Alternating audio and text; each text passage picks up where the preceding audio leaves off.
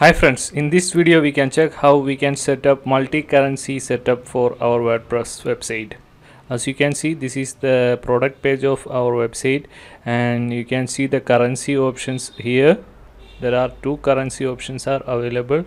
A customer can switch between two currencies like this and they can see the exact amount on their particular currency. This is a free plugin and I will teach you how to set up that plugin on our website. This is the plugin you have to install on your WordPress website. You can search it on your plugin directory. It's totally free. And go to the settings option of your WooCommerce. And you can see the currency option has been changed and it has it on tab for the currency section on the WooCommerce settings. So just click on there and here you can just click uh, click and you can see there are two currencies available on the free version. So we can check how we can edit it. You can't delete these two currencies. Instead of that you can edit that particular currency right? You can't delete it uh, these two currencies. You can just edit it. Just edit. Just click on the currency you want to edit on the free version change the currency into whatever currency you need and you can change it uh, your flag. You can add the flag for that currency. Then you can select the currency symbol from the list. You can choose your own currency here. If you want you can just add your custom currency symbol for that on the settings option.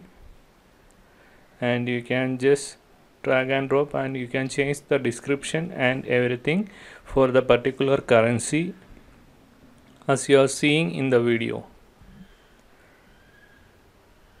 Okay guys. Once you change everything you can just click on save.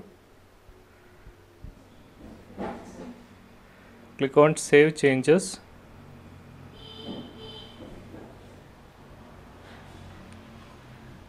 then you can arrange the currency in whatever method you want. You can just drag and drop and you can just arrange the currency like this. And you can set up the base currency by basic currency by just clicking. And you can also get the exact exchange rate from there.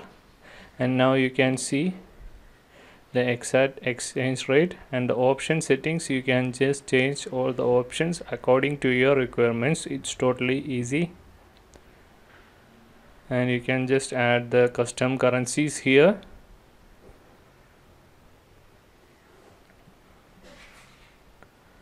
Once everything changes you can click on save changes.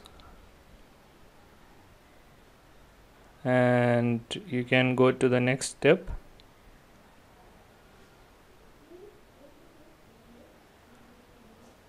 on the side option this is an important option for changing the currency. So just enable this and you can see the currency changer is now working on the front end of our website. So customer can just switch the currency from here on the website. Okay that's all. Thank you for watching the video. If you like the video please subscribe the channel